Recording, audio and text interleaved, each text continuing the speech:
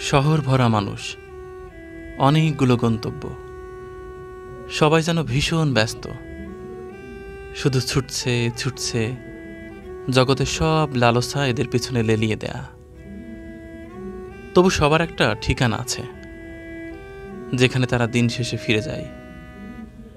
নানা শ্রেণি পেশার মানুষের মাঝে এমন মানুষও আছে, যাদের কোনো গন্তব্য নেই, লক্ষ্য নেই যাদের জন্য দিন শেষে কেউ অপেক্ষা করে না। তবু তারাও তো মানুষ, এ শহরেরই মানুষ। পৃথিবীর এত রূপ, রস, আয়োজন কিছুই তাদের স্পর্শ করে না।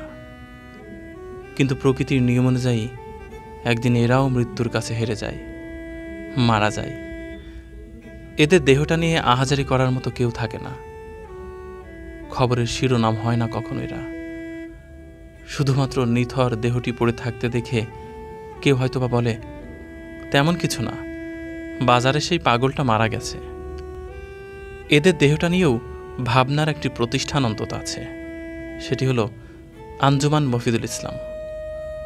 আঞ্জুমান মুফিদুল ইসলাম সৃষ্টি হয় প্রথম ভারত থেকে। ভারতের ইব্রাহিম মোহাম্মদ ডুপরি নামক এক ভদ্রলোক এটা তৈরি করেন। এটা মহাত্মা গান্ধী সে সময় ক্ষমতায় ছিলেন ভারতের। সেই সময় মহাত্মা গান্ধীকে প্রস্তাব দেন যে হিন্দু মুসলিম রায়টে অনেক লোক মারা যায়। তো আমার এই মুসলমান লাশদের আমি দাফানের ব্যবস্থা করব। তখন মহাত্মা গান্ধী ওনাকে অনুমতি দেওয়ার পর এটা ভারতবর্ষে নাম, উনি নাম বিভিন্ন ওলামায় ক্যালেমদেরকে নিয়ে নাম ঠিক করেন যে কি নাম দেওয়া যায়। তখন নাম আসে যে আঞ্জুমান মুহিদুল ইসলাম। অর্থ হল আল্লাহর পথে শান্তির জন্য নিজেকে উৎসর্গ করা। নাম পরিচয়হীন এমন মানুষের শেষ যাত্রার সঙ্গী আঞ্জুমান মফিদুল ইসলাম। লাশ নিয়ে বেদনা, সবচেয়ে বেদনার সৃষ্টি হয় আবার একদিনই নবজাত শিশু নিয়ে। এটা আমার সবচেয়ে দুঃখজনক একদিনের নবজাত শিশু। কেনই আমরা আবাদ ফুর্তি করব কেন পেটের মধ্যে বাচ্চা নিয়ে সেই বাচ্চাকে আমরা ফেলে দেবো? এটা খুব দুঃখজনক আমার কাছে। আরেকটা, যে মানুষ এখানে ওখানে পাগল ঘুরে বেড়ায়। এই পাগলের কোনো বেওয়ারিশ হিসাবে আমাদের কাছে নিয়ে আসা হয় মৃত্যুর পরে। বেওয়ারিশ হিসেবে আমরা সেই পাগলের গত তিন চার দিন আগেও শৈলকুপার থেকে একটি পাগলের লাশ আমরা দাপন কাপন করি। দাড়িগো আছে, সব আছে। কিন্তু তার তো পরিচয় আছে। বেওয়ারিশ এই কথা কেন আসবে? আমার মা বাবা আমাকে জন্ম দিয়েছে। আমার ভাই আছে, আমার বোন থাকতে পারে, আমার অন্য অন্য আত্মীয় স্বজন থাকতে পারে। আমি বেওয়ারিশ কেন? পৃথিবীর কোনো উন্নত দেশে বেওয়ারিশ আছে বলে আমার জানা নাই, এটা আমার অভিজ্ঞতা নাই। তবে আমি যতদূর জানি, এশিয়া মহাদেশে ভারত, বাংলাদেশ, পাকিস্তান, শ্রীলঙ্কা, এসব দেশে বেওয়ারিশ কথাটা আছে। আসলে বেওয়ারিশ এই নামটিই থাকা দরকার নেই। এমনও পচা করা লাশ আসে চার দিন, পাঁচ দিন পর পুলিশ পায়। সেই লাশটা আঞ্জুমানে নিয়ে আসে। সেই লাশটা আমাদের কর্মীরা আছে সেখানে ইসলামিক কায়দা সরিয়া সরিয়া কায়দা গোসল দিতে হয় কাপড় পোয়াতে হয়। এর ধারে কাছে আত্মীয় স্বজনরা ঘেসতে চায় না।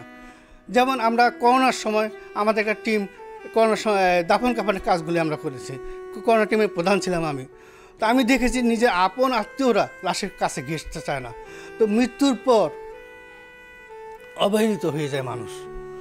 আমার যে কর্ম কর্ম আর কোনো সময় সেই কর্ম কোনো দাম নেই। যাদের চেষ্টার ত্রুটি নেই সেই যাত্রার মানুষকে সম্মান জানাতে। কত ত্যাগ তিতিক্ষা করে আঞ্জুমান মফিদুল ইসলাম টিকে আছে স্বমহিমায়, স্বগৌরবে।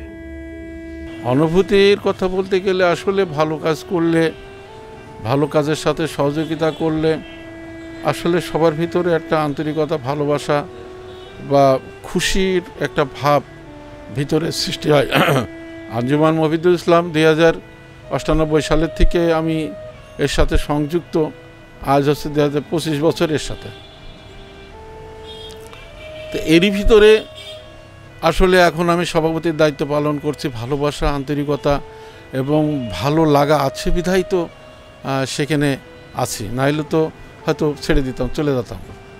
আমরা যারা মৃত্যু তো সত্য জিনিস এবং মৃত্যুই হচ্ছে পৃথিবীতে যা কিছু আছে সব কিছুর শেষ কথা হচ্ছে মৃত্যু, জন্মালেই মৃত্যু আছে। আর মৃত্যু সবার জন্যই প্রযোজ্য। আজ হোক, কাল হোক, কেউ একদিন আগে, কেউ একদিন পরে। এই জন্যে, এই মৃত্যুর জন্যে যারা মৃত্যুবরণ করবে, তাদের জন্যে কাজ করা একটা মহৎ আমি মনে করি। আঞ্জুমান মফিদুল ইসলাম আত্মমানবতা এক কথায়।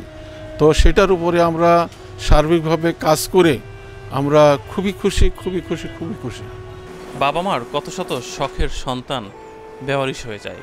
আপনার কর্ম, আপনার স্ট্যাটাস সব কিছু মুহূর্তে শেষ হয়ে যেতে পারে। আপনার পরিচয় হবে শুধুই আপনি বেওয়ারিশ। এই নাম পরিচয়হীন মানুষগুলোকেই আঞ্জুমান মফিদুল ইসলাম শেষ যাত্রায় সম্মান প্রদর্শন করে। তাদের অন্তিম যাত্রার সঙ্গী হয়। হুমায়ুন আহমেদের একটি উক্তির কথা মনে পড়ছে। তিনি বলেছিলেন, জীবনের মৃত্যুর সময়, শেষ সময়ে কেউ সঙ্গে থাকবে না, পাশে থাকবে না। আমাকে নিয়ে অনেক বেশি কান্নার রোল উঠবে না। এটা সত্যিই হিংস্রতা, নির্মমতা। কিন্তু বেওয়ারিদের বেলায় তাই হয়। শুধুমাত্র আঞ্জুমান মফিদুল ইসলামের গুটি কয়েক সৈনিক তাদের শ্রদ্ধা জানায় অন্তিম সময়ে।